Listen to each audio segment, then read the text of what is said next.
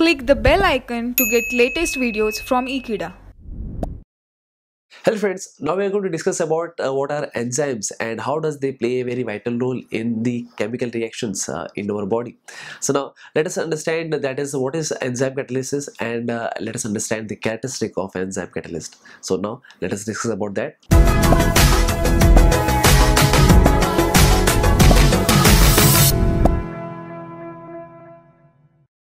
So let us talk about the enzyme catalyst. So they are that is the enzyme catalyst are homogeneous biological catalyst and catalyzes the biochemical reactions in the living system. So we know that uh, we have discussed about the catalyst as well as we have also discussed about what is homogeneous and what is heterogeneous uh, catalysis.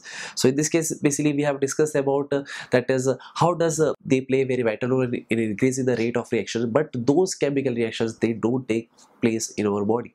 In fact we prepare chemicals uh, that is basically used for preparation of medicines and various uses. But now we are specifically we are talking about those catalysts which take a place or which basically participate in the chemical reaction especially biochemical reactions that could be in our body also or that could be in a biological different kind of living organisms also.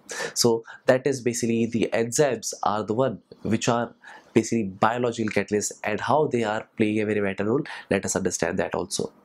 So this were something the definition which we have discussed over here. And now let us understand the characteristic of the enzyme catalyst so the characteristic of enzyme catalysts are as follows. So here we are going to discuss about uh, uh, those points. So the first of the thing is that is uh, it is a homogeneous biological catalyst. Obviously, uh, that is uh, this kind of catalyst they they take part in our uh, Uh, biochemical reactions in our body or in the other living organisms.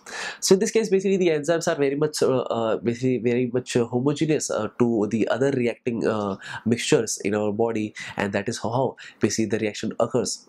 And talking about the next point, and that is basically they are basically large size protein molecules.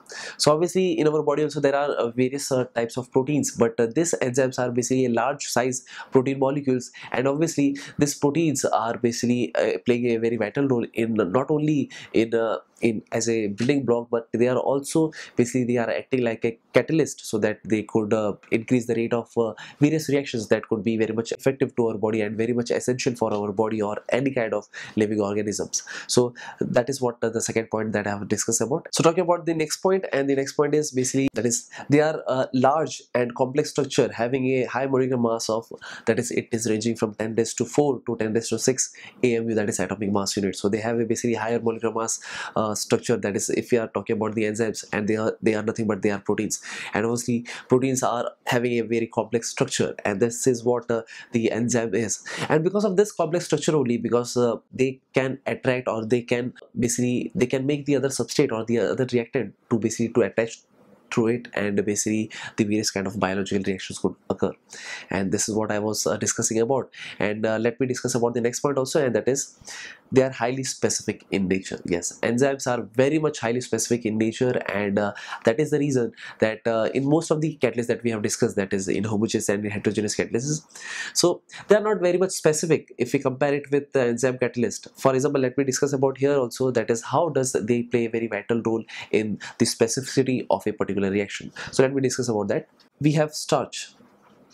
And uh, starch is the one which is basically uh, it consists of uh, it is basically a carbohydrate. And uh, that is the reason suppose it can un easily undergo that is uh, hydrolysis. That is in presence of H2 so as to give a particular glucose. That is n moles of glucose uh, it will give. But this reaction can occur in presence of a catalyst also and that's the reason that we are using catalyst just as to increase the rate of reaction. But since we are talking about the enzymes and uh, we are talking about the enzyme catalyst obviously they are, are very much highly specific in their nature. So in this case basically uh, if we use starch along with that of H2O and with a particular catalyst like amylase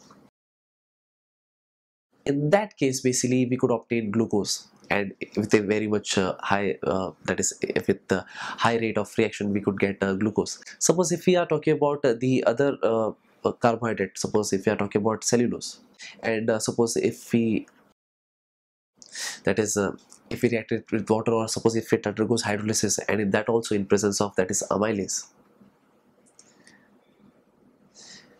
then the possible product is not obtained actually. So there is no reaction that could be obtained whenever basically cellulose reacts with the H2. The reason behind that is as I've said earlier also that is uh, enzymes are very highly specific in nature. So this amylase is basically it is specifically it is acting so as to basically so as to break down the starch molecules uh, in presence of H2O so as to give a glucose. But in the same case suppose if you are using amylase in case of that is uh, during hydrolysis of cellulose the reaction will not be obtained. So that is the reason that it shows that uh, amylase are very much specific in nature so that was one of the example that I have discussed over here but there are also various examples that we are going to discuss.